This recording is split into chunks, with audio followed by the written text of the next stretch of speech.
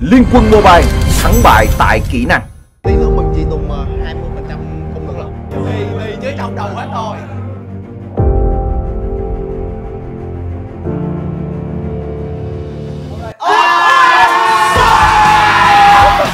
Đội đỏ của chúng ta sẽ giành được 150.000 quân huy.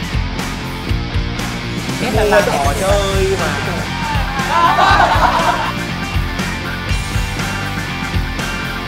Trong bên kia 30 nghìn mua mình Siêu sao Liên quân 2021 chính thức lên sóng vào các ngày. 29 Tết, mùng 2 Tết và mùng 5 Tết hãy đón xem.